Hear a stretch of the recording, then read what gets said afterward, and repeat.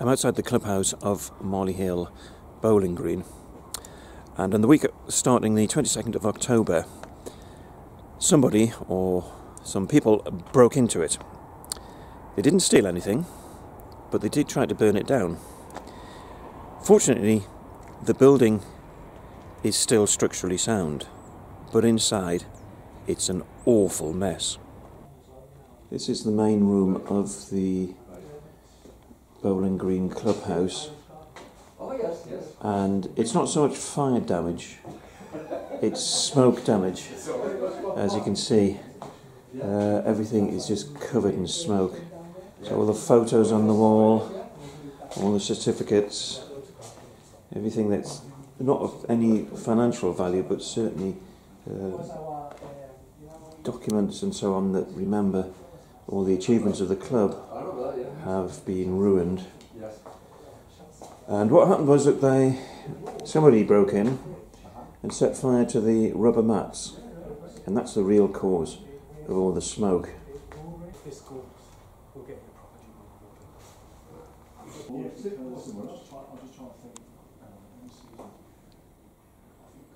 Well, we think the building is structurally sound. It's the smoke damage, which is the biggest concern, and so much of what is in here. Uh, the furniture, the pictures, the certificates, the kitchen it's the smoke damage to them, which is uh, what's the most widespread of the problem that we have here in this building now. But I look at it and I think, why? Why would somebody actually want to do this? To break in and just set fire to the place? It, it's just completely mindless vandalism. And these were people, this was a club that was run by people who are no problem to anybody. They're getting on with life. Most of them are retired people just enjoying a bowl, a game of bowls, and we have somebody, one or two, maybe maybe more people just breaking in and just destroying it for no reason at all.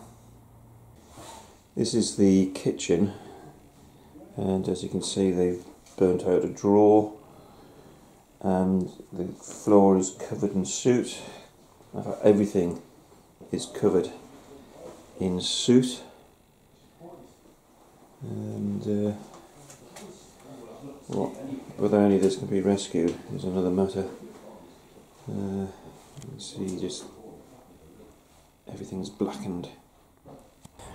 As one of the local councillors, I've been advising the club on its community asset transfer, and I've also come up here to do some publicity shots to encourage people, more people, to join the club.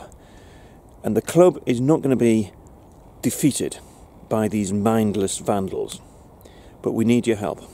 We need your help. If you know anything or have any suspicions, please get in touch with the police because this is the, actually the second time that ha- there's been a break in here in the clubhouse. So if you've got any any facts or any information that you can pass on to the police, please get in touch with them.